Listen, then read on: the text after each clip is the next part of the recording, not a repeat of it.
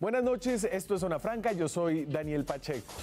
El gobierno de Colombia, liderado por Juan Manuel Santos, estuvo hablando con el ELN en secreto más de dos años, desde enero del 2014 hasta marzo del 2016, para lograr un documento marco para iniciar unos diálogos de paz. Después eh, se demoraron casi un año más, recordarán ustedes, hasta febrero del 2017, para lograr finalmente instalar la mesa de diálogo de Quito y tomar la foto que están viendo atrás. Desde entonces, durante cinco ciclos y un cambio de jefe negociador por parte del gobierno, reemplazando a Juan Camilo Restrepo por Gustavo Bell, estos diálogos avanzaron realmente muy poco en los vaporosos temas de fondo que se plasmaron en esa agenda inicial. Tal vez el mayor logro de los diálogos con el ELN es, sin duda, el cese al fuego bilateral pactado entre las dos partes, el primero de este tipo en toda la historia de 50 años de conflicto con el ELN, entre octubre del 2017 y enero del 2018. Toda esta historia de esfuerzos, para muchos esfuerzos de paz perjudiciales que han permitido el fortalecimiento del ELN, para otros esfuerzos de paz loables que han salvado vidas, están pasando ahora por su peor momento de legitimidad, el momento más complicado. Hoy el presidente de Ecuador, de manera sorpresiva, anunció que Ecuador dejaría de ser el país garante y anfitrión de los diálogos con el ELN. Y fue de manera sorpresiva porque Lenin Moreno, Lenín Moreno, eh, hizo el anuncio en medio de una entrevista con un medio de comunicación, hablando con la periodista Andrea Bernal de NTN 24 y RCN Televisión, cuando aún no se había notificado oficialmente al gobierno de Colombia. Mientras tanto, en la frontera colombo-ecuatoriana, las fuerzas militares de los dos países continúan con operativos espejo, como llaman a estas acciones simultáneas en los dos lados de la frontera, presionando a la disidencia de las FARC, liderada por Guacho, alias Guacho, que secuestró a dos civiles ecuatorianos solo días después de haber asesinado en Colombia a tres periodistas de ese país. Pero no solo en la táctica militar hay espejo entre Colombia y Ecuador, en la política también. Dos expresidentes, Álvaro Uribe en Colombia y Rafael Correa en Ecuador, juegan roles importantes.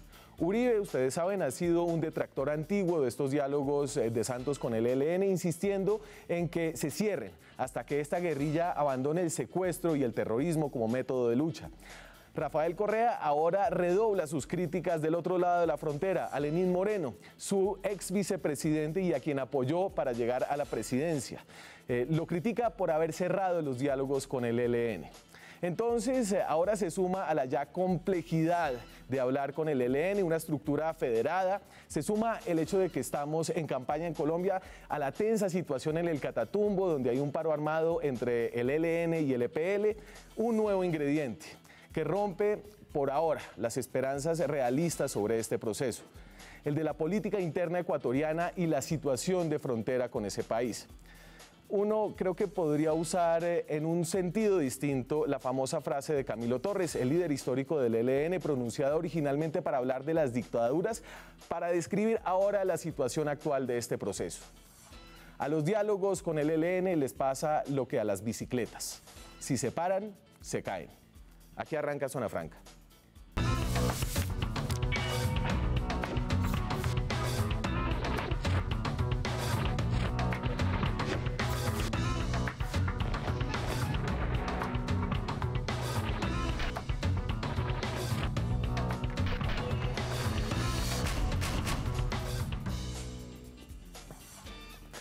Para hablar de la noticia del día, lo que está pasando con los diálogos eh, que ya no son en Quito con el ELN, eh, y para hablar de política también, porque estamos en plena campaña presidencial, nos acompaña esta noche León Valencia.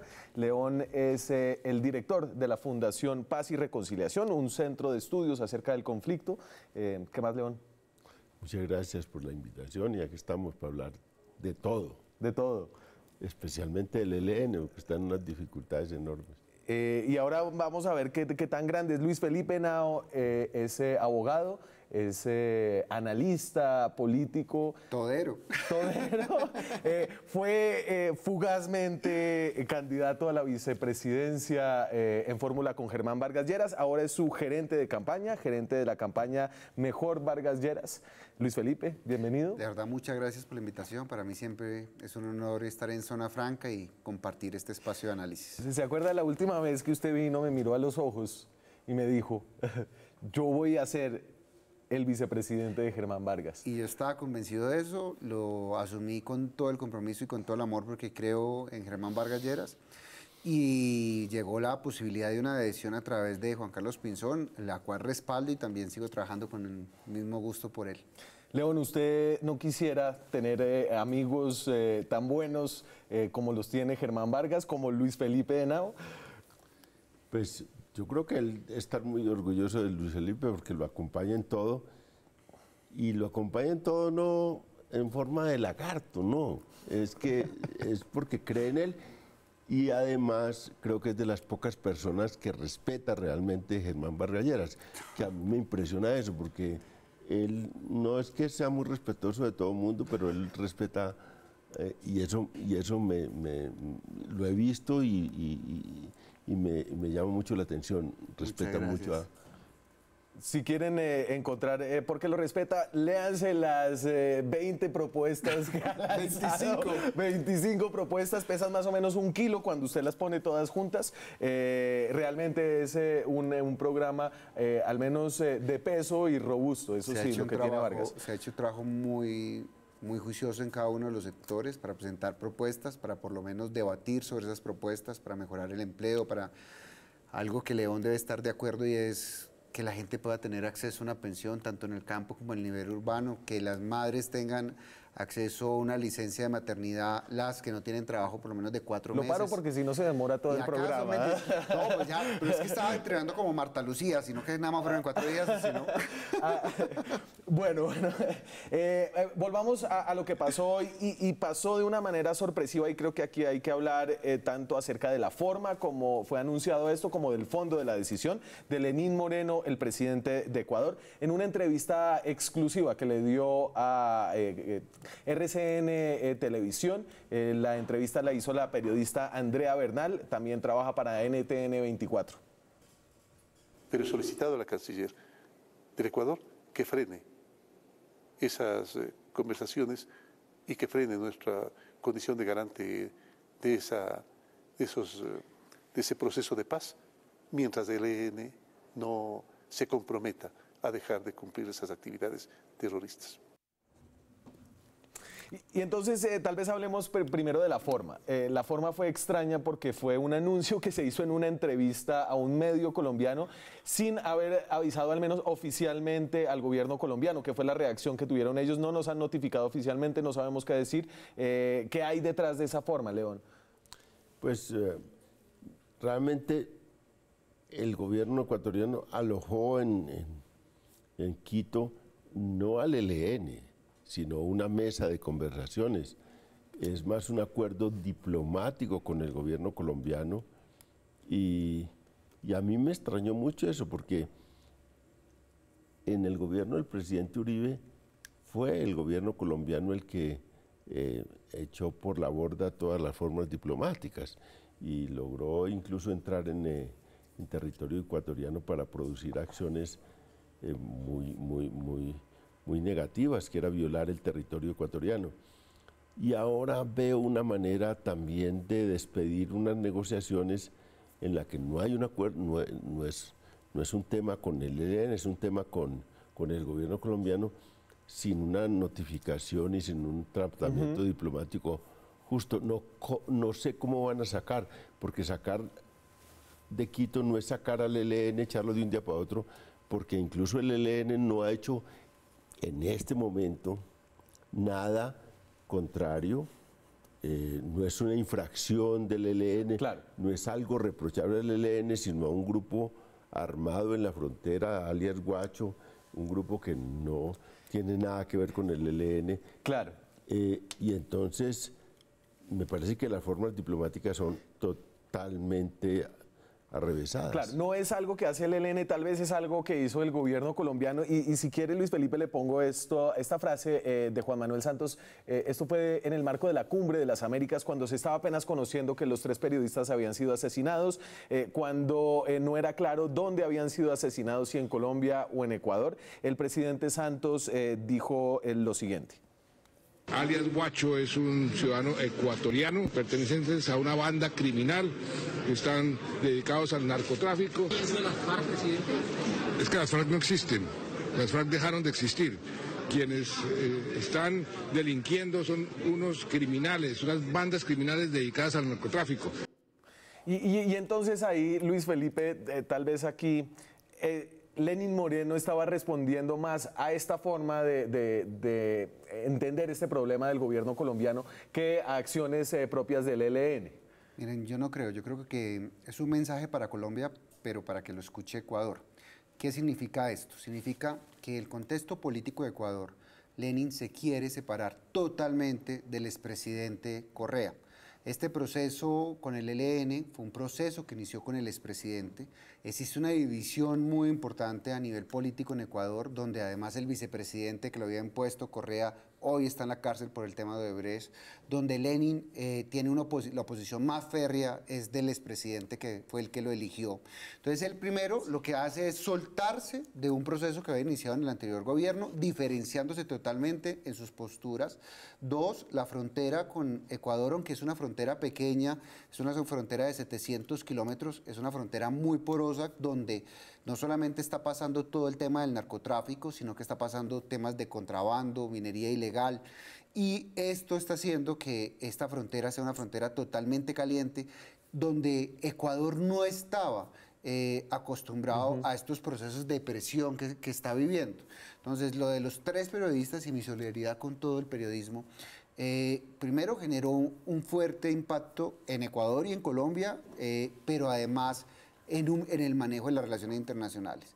Dos, eh, el que no le haya avisado a Colombia significa que lo que quería era tener una postura fuerte para tener una mayor popularidad en Ecuador y tener esa postura de víctima y recoger el nacionalismo que es muy bueno para subir en las encuestas de popularidad.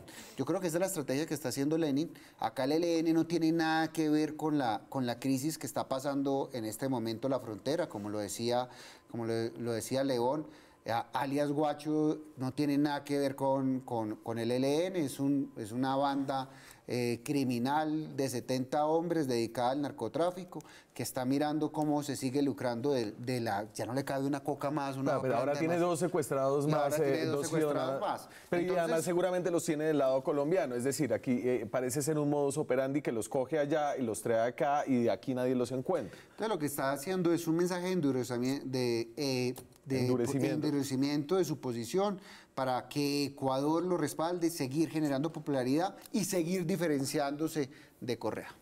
Eh, entonces usted menciona a Correa y, creo que ahí hablábamos de operaciones eh, militares eh, espejo, es decir, en los dos lados de la frontera está pasando como lo mismo para poder tener un control mayor, eh, pero también hay una forma política espejo en el Ecuador en la que hay un expresidente que había apoyado al presidente actual, pero ahora tiene unas pésimas relaciones. Estamos hablando de Rafael Correa y Lenín Moreno, algo parecido a lo que pasó con el expresidente Álvaro Uribe y Juan Manuel Santos. Así le escribe Correa, esto es un tuit de muchos. Moreno está realmente chiflado. Le ha dicho a CNN que el puente que Colombia y Ecuador construimos finalmente sobre el río Mataje para el tercer eje binacional lo hice yo para que pase la guerrilla y el narcotráfico. Se ve que está desesperado por su ineptitud. Em, palabras gruesas de un expresidente que apoyó a Lenín Moreno en su campaña. Lenín Moreno fue su vicepresidente eh, durante la última administración. Sí, y eso pues es muy bien, la figura es, muy exacta de, una, una situación de espejo entre Colombia y Ecuador, porque pensábamos que la transición eh, de Ecuador la hacía bien Lenín Moreno, que tenía, digamos, venía del grupo de, Correa, eh, y en la misma campaña se empezaron a diferenciar. Por eso Correa quiso poner un vicepresidente más fiel a él, que pasados unos meses de, presidencia, Lenín Moreno empezó a, mostrar y empezó a ser involucrado en un escándalo de corrupción Lenín Moreno no tuvo ninguna compasión, lo sacó y, Correa consideró que eso era un ataque al propio Correa y vino a, defenderse en Ecuador y se ha generado una división parecida a la colombiana entre Santos Pero espejo y al revés, porque Lenín está más a la izquierda que Moreno y de alguna forma Santos eh, estaba un poco más a la izquierda que Uribe. Digamos, eh, es, es totalmente, digamos, espejo en el que esa- eh, Correa está hoy bravo porque se acabaron los diálogos, Uribe eh, está bravo porque no se habían acabado antes cuando él quería. ¿No? Sí, pero siempre es una división entre quién es más duro en, en una situación en- en- o en otra. Y ahí yo creo que en el caso de Correa y de, y de Lenín Moreno, pues están eh, más, más hacia la izquierda Correa, Sí. más hacia la izquierda Correa, más en una actitud más de centro, Lenín Moreno, más crítica como a lo que ha sido eh, los gobiernos de izquierda en América Latina en el último tiempo y esa diferencia y esa distancia que empezaron a tomar ya se volvió una cosa personal, como se volvió una cosa personal en Colombia la diferencia entre Uribe y Santos. De manera que estamos viendo, eh, digamos, unos formatos políticos eh, con muchas identidades eh, y con una identidad básica que es la polarización política entre viejos amigos que gobernaron juntos, eh, eh, en el caso de, de Ecuador y en Sí. el caso colombiano. Y bueno, las consecuencias de esto a veces son, pues como es que, le, digamos, en una confrontación, una pelea entre unos le terminan pegando al que está en la mitad y en este caso Es la le, mesa. le pegaron la mesa de Quito.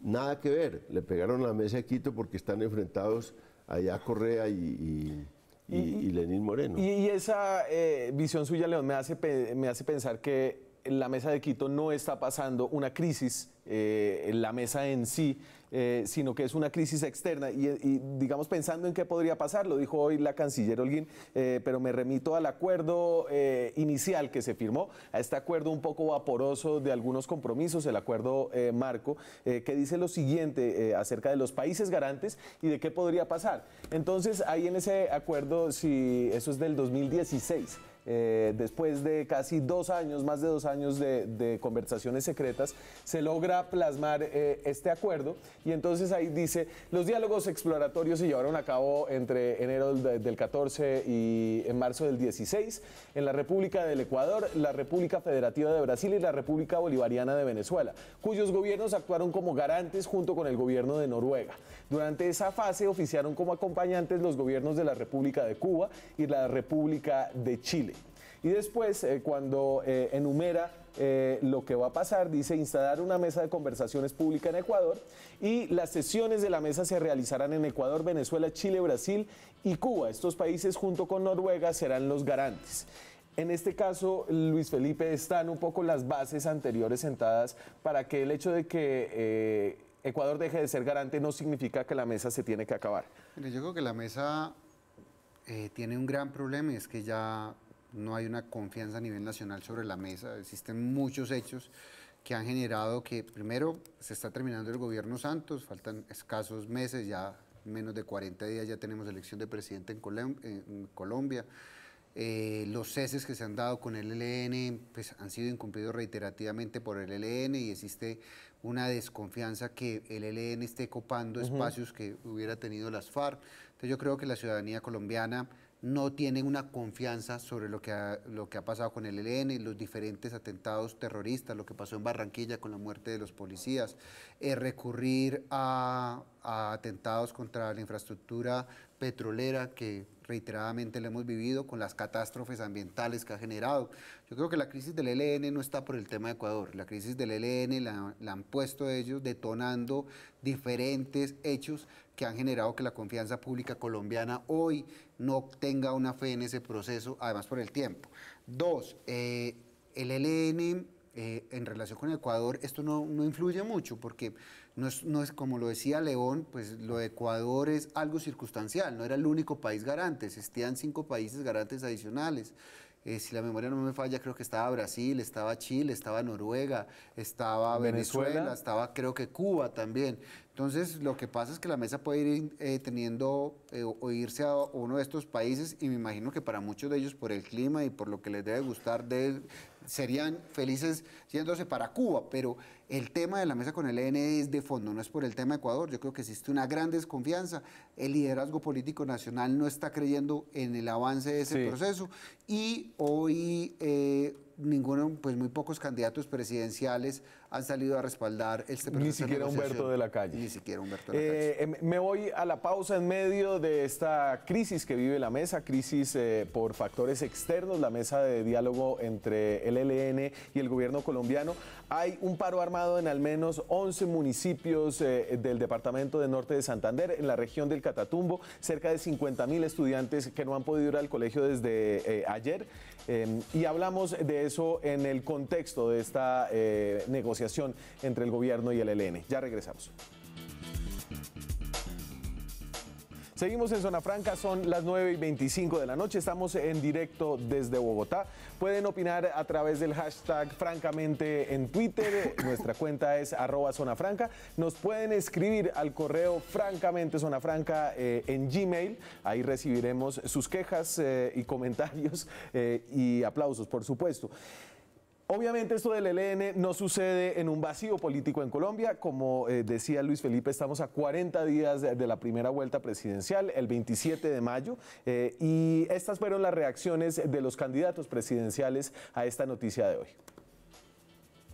Esto es eh, Iván Duque. Dice, tiene toda la razón el presidente Lenín Moreno en suspender la mesa de diálogos eh, con el ELN en Quito. Nosotros lo hemos advertido desde hace mucho tiempo. Lo que se, no hizo el gobierno Santos, bien lo hace el gobierno de Ecuador. Iván Duque del Centro Democrático. Y ahí viene Fajardo. Porque el gobierno de Ecuador está sufriendo, yo los entiendo, lo lamento, habrá que buscar otro lugar. No era posible continuar dialogando en el Ecuador mientras en Colombia esta organización no daba ninguna muestra de querer buscar la paz. Por fin alguien le puso freno a este diálogo estéril. Lo que ha dicho Ecuador eh, nuevamente genera esa necesidad. Yo quiero llamar la atención del ELN. Tienen que brindar garantías a los colombianos para que la mesa no sea un ejercicio inútil. Y se me quedó, me quedó faltando Petro, que no sé si no dijo nada, muchachos. Revisemos a ver si Petro tiene reacción. No hay reacción de Gustavo Petro. Eh, a, ver, ahí hay un consenso más o menos, eh, y, estábamos hablando un poquito en, la pausa, ¿qué tendría que hacer el próximo presidente eh, con estos diálogos? Y aquí hay un consenso en que al menos no se ve con buenos ojos cómo está planteado este diálogo una continuación, León. Yo lo que he oído de, en reuniones privadas que estaba en Quito y también en dos reuniones con la delegación del gobierno encabezada por Gustavo Bell, es que hay unos propósitos en los que coinciden el ELN y el gobierno. Uno, un cese bilateral en las hostilidades. Dos, el de hacer una mesa eh, humanitaria en Chocó, que es un lugar clave. Tres, en eh, poner en marcha unos acuerdos sobre participación ciudadana en estas negociaciones de paz. Y cuarto, en avanzar la agenda para que el próximo gobierno le sea muy difícil revertir esa, esa mesa. Lo que yo he oído de las dos partes es que tienen un propósito de ir hacia adelante.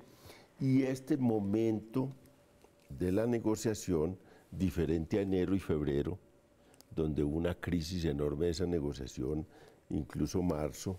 ¿Estaban dando? Estaba, primero el ELN no ha dicho públicamente que, que está en un cese, pero ha disminuido las acciones en gran medida con acciones de secuestros y cosas que siguen vigentes, pero ha disminuido y la mesa, según los negociadores, está en muy buen momento.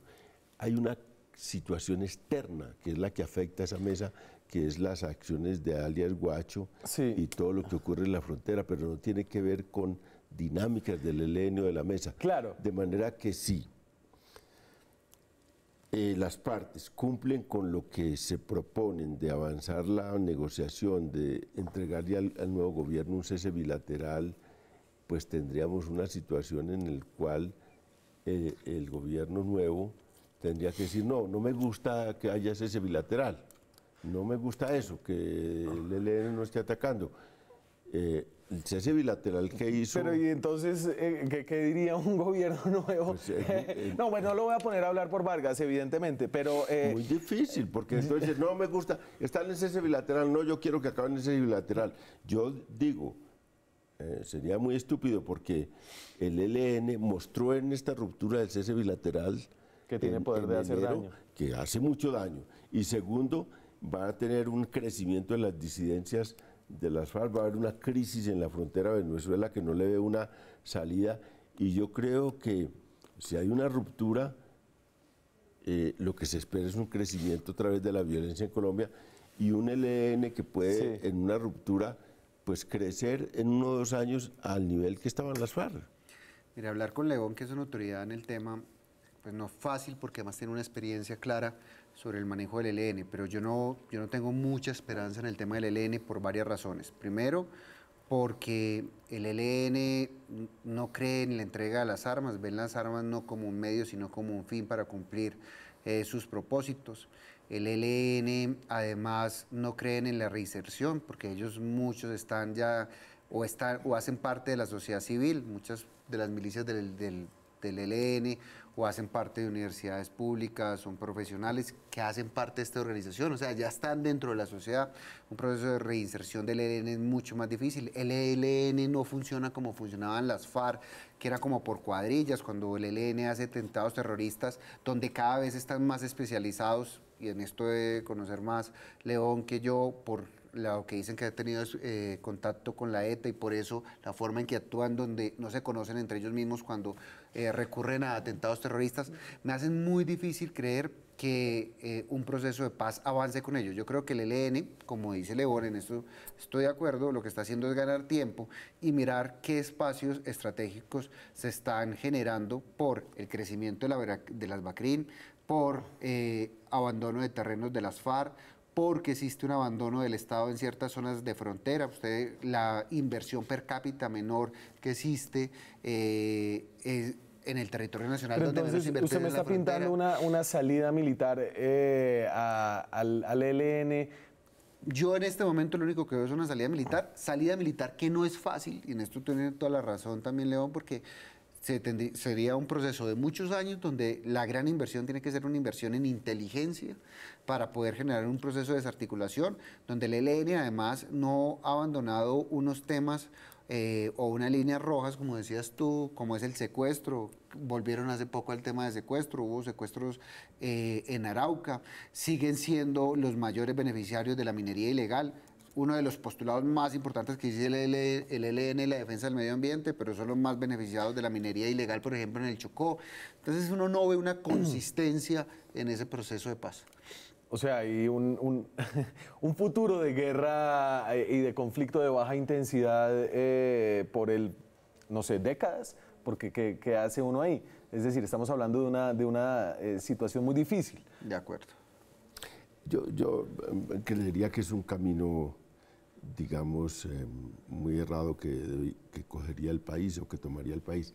Digamos que si el ELN es él el que rompe las conversaciones, el que se va a la guerra, el que quiere seguir en esa confrontación, pues no le queda más al Estado que, que- que responder. Pero entonces Pero Vargas habla de una caguanización, es decir, que, que el ELN está utilizando esto como eh, un, eh, no hay zona de despeje evidentemente, pero como una forma de ganar tiempo para fortalecerse No, militarmente. no, digamos, yo digo, si el ELN toma ese camino, eh, le ocurre lo que le ocurría al L, a, digamos, a las FARC después del Caguán, que finalmente creyeron que iban a, tener, digamos, un- un- una posibilidad de victoria militar y no la tuvieron.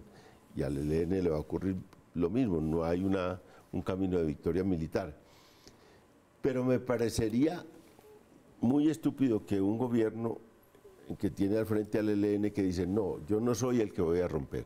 Yo estoy en un cese bilateral, yo me mantengo en Sí. este cese bilateral, quiero seguir negociando, quiero conversar, quiero buscar un- un- un- una salida negociada. Que un gobierno le diga, no señores, no necesitamos eso. Ustedes eh, ya vamos a romper estas conversaciones y vamos a seguir en esta confrontación. Eso no me parecería eh, bien. y, y me parecía un camino muy errado. ¿Por qué? Porque el ambiente es cada vez más difícil. Sí. ¿Por qué?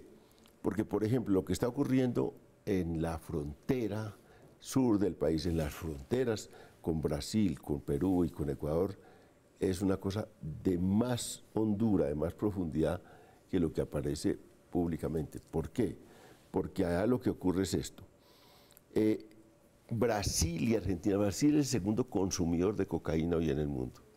Eh, y Argentina tercero. Desplazaron a España. El primero sigue siendo Estados Unidos, pero desplazaron a países de Europa. Brasil es una ruta de narcotráfico. Y al otro lado está el Pacífico, que el Pacífico se convirtió en el lugar clave de la economía de estos países, en el lugar clave de las exportaciones, con unas rentas legales e ilegales, y lo que hay es una disputa por esas rentas. Han crecido entonces organizaciones ilegales, las disidencias de las FARC, el ELN en esa zona, y ahí hay un conflicto más grande de lo que pensamos. Y la, man- y la solución tiene que ver, por un lado, con una presión militar que no ha habido y un acuerdo de los gobiernos, eh, de los gobiernos con Colombia para hacer una estrategia inteligente de enfrentamiento. Pero por otro lado, excluir mediante la negociación a los que quieren. Hay gente que no le interesa. Estos grupos narcotraficantes le interesa es el, el- la ilegalidad, eso no hay negociación. Y- Pero si hay una fuerza guerrillera que quiere negociar, me parece que ese es el camino. Y, y entonces, y, ¿cuáles serían los mínimos ahí, eh, Luis Felipe, digamos? Mire, yo creo que acá hay unos mínimos para avanzar. O sea, ya se hizo un proceso de paz con las FARC, donde toda la sociedad colombiana se ha tragado unos sapos y se ha tragado esos sapos para poder avanzar en esa locura que es un conflicto de más de 52 años, que ha dejado tantos muertos y tantos desplazados. Uno no entiende cómo el ELN no coge esa autopista que le dejó la negociación con las FARC para poder avanzar. Y lo que sí le genera a uno mucha desconfianza en todo este proceso es que el ELN en todas las negociaciones lo hace como una herramienta para volverse a reagrupar, para irse a Venezuela, para poder eh, tener unidad de mando, volver a distribuir y dar Y entonces la, autopista, digamos, serían los mínimos, es decir, lo que se Pero, logró en la negociación con las FARC. yo creo que hay unos mínimos en la negociación Pero, con las pero FARC. los mínimos de la negociación con las FARC serían muy atractivos De acuerdo. eh, siempre y cuando se cumplieran, pues que nada se ha cumplido. O sea, negociaron lo que está viendo la gente del ELN, yo no justifico nada porque yo además participé en un acuerdo de paz y yo sin ninguna eh, dádiva, sin ninguna oferta, eh, eh, si me tocara a mí personalmente, yo decidiría, si estuviera en una guerra, terminar la guerra sin nada de atractivo, sin ninguna oferta. Pero pongámonos en el, tema del ELN. Si los mínimos de las FARC fueran la base de negociación, eh, sería fabuloso siempre y cuando se cumplieran. Pero mire, no hubo reforma agraria acordada en la implementación, reforma política tampoco hubo. La reintegración de las FARC ha sido un fracaso. Los recursos que han llegado externamente para apoyar procesos Sí. productivos, se quedó una burocracia acá, hay unas irregularidades en eso. O sea, Miren, los mínimos firmados de, con las FARC pueden ser incluso atractivos, pero los mínimos cumplidos con las FARC es un desastre Me- total. Yo estoy de acuerdo, yo estoy de acuerdo con León en que el gobierno ha tenido dos golpes muy fuertes. Uno que se canalizó de forma positiva y yo creo que la detención de Santrich demuestran que esto no era un proceso de impunidad y ese mito que había generado el uribismo que, y esos miedos que a ellos les gusta generar en, en- el tema electoral de que nadie iba a ir para la cárcel y que esto iba a ser una cadena de impunidad y de delitos, pues se demuestra que cuando alguien comete un delito se va para Sí. la cárcel. Y ahí se muestra una Y fortaleza por el del otro proceso. lado, el de la implementación. Pero el, la- el gran problema es el de la implementación. Primero, una persona altamente eh, mala en el desarrollo de los procesos de paz, donde mm, lo que dice León es cierto, o sea, los procesos productivos no han sido acordados, no han tenido una buena interlocución con la región, no se han vinculado ni los, ni los alcaldes ni los gobernadores para la Pero implementación. entonces ahí la pregunta sería, ¿el acuerdo, eh, la implementación del acuerdo sería mejor con Vargas? Pues yo creo que esto necesita un gerente que tome decisiones, que no quiera quedar bien con todo el mundo, que tenga la fortaleza para decir qué se puede hacer y qué no se puede hacer. Yo creo que es- al, al país sí le falta esa autoridad. Me, me voy a la pausa. eh, cuando regresemos, eh, creo que es hora de meterse en la política. Tenemos eh, una nueva encuesta del Centro Nacional de Consultoría que paga el canal, el noticiero CMI. Tenemos además unos apoyos políticos importantes a propósito de la candidatura de Germán Vargas Lleras. Con eso regresamos. Seguimos en Zona Franca, son las 9 y 43 minutos de la noche. Estamos en directo desde Bogotá, por eso eh, tenemos eh, la encuesta que acaba de publicar nuestro eh, canal vecino CMI, eh, la encuesta del Centro Nacional de Consultoría que ellos eh, pagaron, eh, que tiene unos resultados muy interesantes. Antes de eso, les voy a poner esta nota de calle que hicimos sobre todas las maquinaciones y cálculos que se están haciendo ahora mismo los colombianos. ¿Por quién debo votar? ¿Por el que quiero? ¿Para detener a alguien? ¿Voto estratégico, pragmático, ideológico? Esto es Zona Franca en la calle.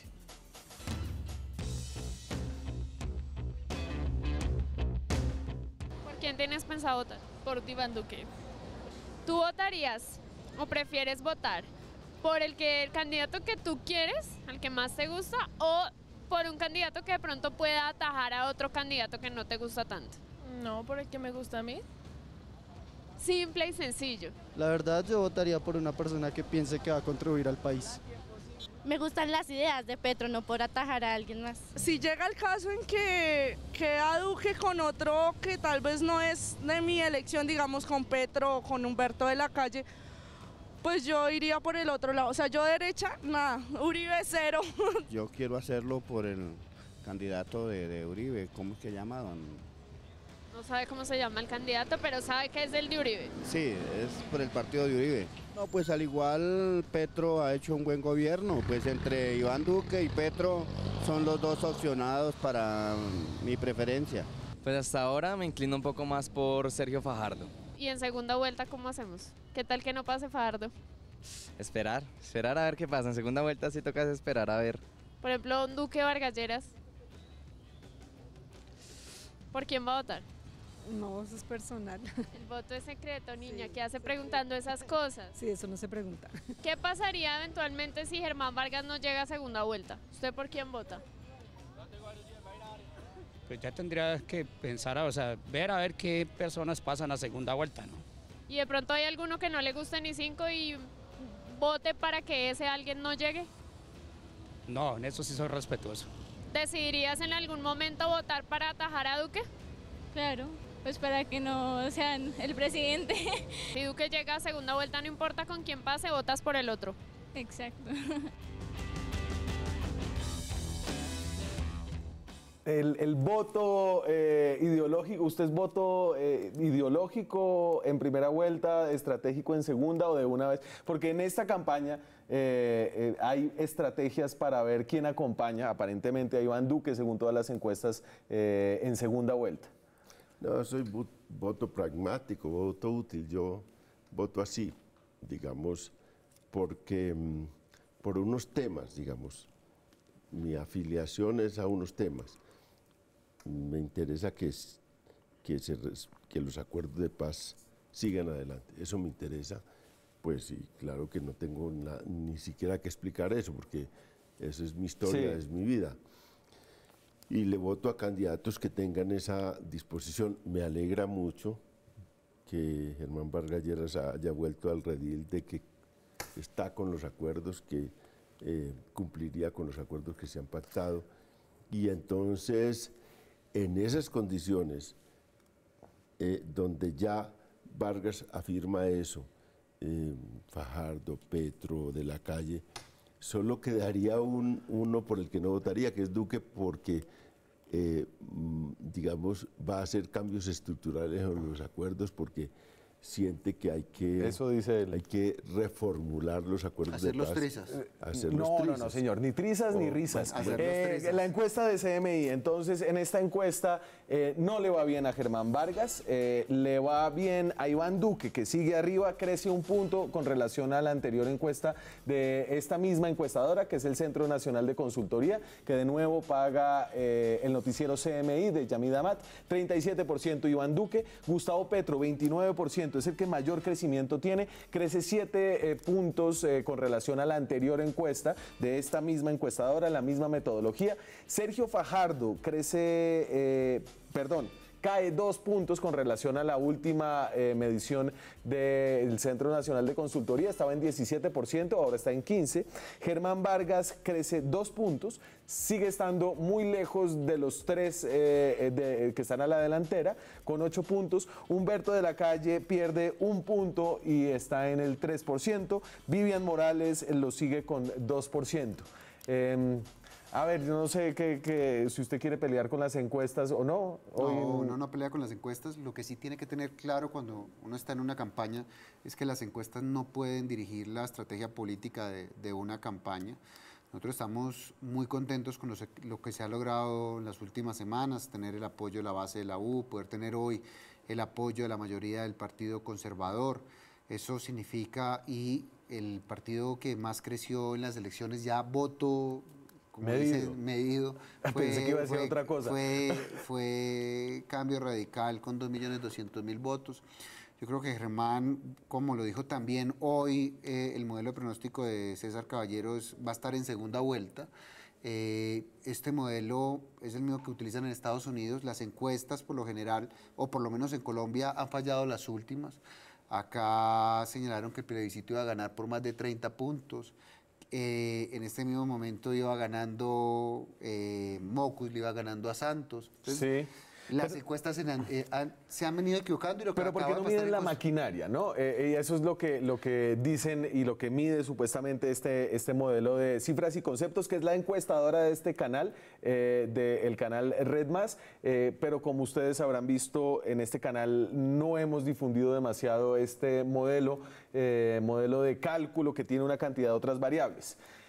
Esa es la maquinaria y, eso nos lleva al apoyo de hoy. Si quieres pone, eh, me tengo que ir a la pausa, pero pongamos a Vargas eh, eh, cobrando el apoyo del Partido Conservador. Muchachos. Ah, bueno. Celebro esta decisión. Mi reconocimiento para el Partido Conservador. Con el Partido Conservador tenemos muchos puntos en común. A lo largo de esta semana y a mi regreso a Bogotá, me reuniré con las directivas del partido para avanzar en un acuerdo programático Germán Vargas logra el apoyo, vamos a ver qué tanto de todo el- o de parte del Partido Conservador tiene el Partido de la U, tiene a cambio radical. Es la versión frente nacionalista de estas eh, elecciones presidenciales y cuando regrese de la pausa le voy a preguntar a Luis Felipe Henao si esta forma de hacer política es buena, no tan buena, cuáles son sus ventajas y desventajas después de comerciales. Seguimos en Zona Franca, nos quedan cinco minutos de programa y yo eh, me fui a la anterior pausa con una pregunta y la refuerzo con eh, el modelo de pronóstico de cifras y conceptos. Eh, de nuevo, esto no es una encuesta, eh, esto es un modelo de pronóstico. Y entonces dice que Iván Duque tiene un eh, mínimo de 35% y un máximo de 36%, Vargas un mínimo de 20 y un máximo de 23%, Petro un mínimo de 17 y un máximo de 18%, Fajardo 12 y 12, eh, de la calle 5 y 5 básicamente, y Vivian eh, 3, 5 y 6, 9. Eh, es decir, estos son unos rangos eh, de intención de voto en los que Germán Vargas pasa a ser el segundo porque cuentan sus apoyos políticos, lo que se llama la maquinaria, que algunos llaman eh, la fuente de todos los males de Colombia, como el clientelismo, otros dicen que es la forma de hacer eh, política tradicional. Miren, a partir de esa base, y yo creo que esas presunciones son las que le han hecho mucho daño al país, y te lo digo con todo respeto, porque entonces cerremos el Congreso y no tengamos un Congreso de la República. Yo creo que uno de los temas más importantes es tener una institucionalidad. Y esto que ustedes llaman maquinaria o tratan de decirle que son las, los males del país, pues gracias a Dios tenemos un Congreso, si no estaríamos en, un- en otra o en una dictadura. Entonces cambiemos la forma de, de gobernar. Entonces yo por eso no estoy de acuerdo y yo creo que uno tiene que ser un poquito más riguroso sobre eso. Dos, que un presidente pueda llegar y tenga asegurado unas mayorías en el Congreso, asegura un tema fundamental para un, para, para un, para un gobierno y es que las reformas tributarias que tenga que hacer las Sí. pueda sacar rápido, las reformas a la justicia. Entonces, partir de esa base y esas presunciones es totalmente errado. Yo le puedo decir Mayorías lo que, se han conozco- hecho siempre. yo le puedo decir lo, que- lo que conozco de Germán Vargas Lleras. Se ejecutó 60 billones de pesos y no existe un solo proceso de corrupción.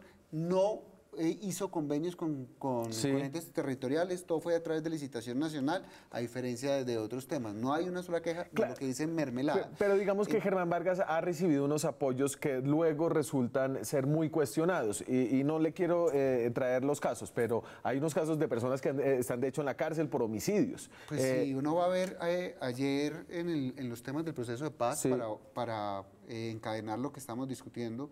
Dieron dos personas, Simancas, que era el secretario de gobierno de Petro, está investigado, y una persona que aspiró por el Partido Verde eh, también al Senado en las elecciones que acabaron de terminar.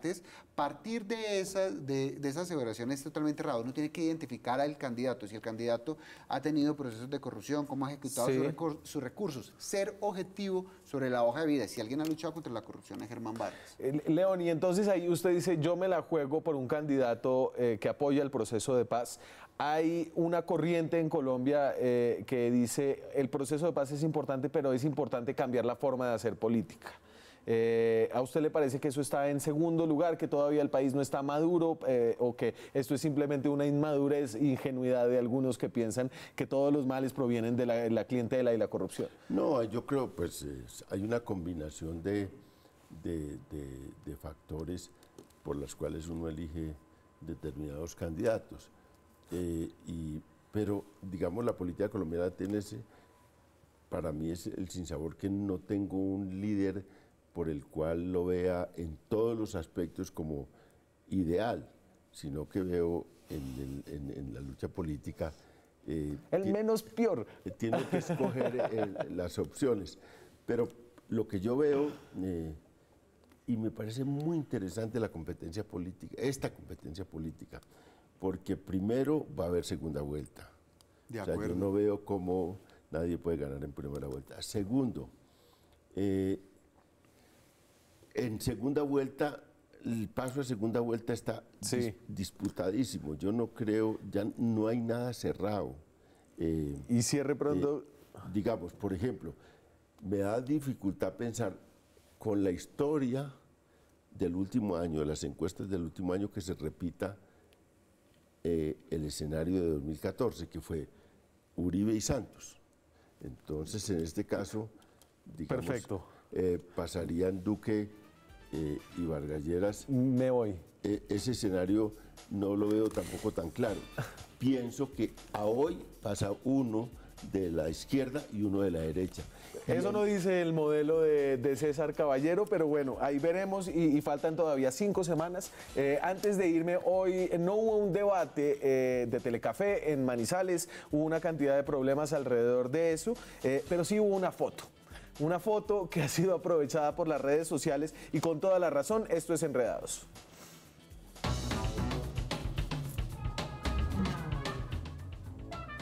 Y ahí estaban todos los candidatos. Esa es un montaje, el petaco de cerveza, metidos eh, eh, en un eh, salón esperando a hacer este debate. No estaba Sergio Fajardo, pero en internet eh, eso se solucionó.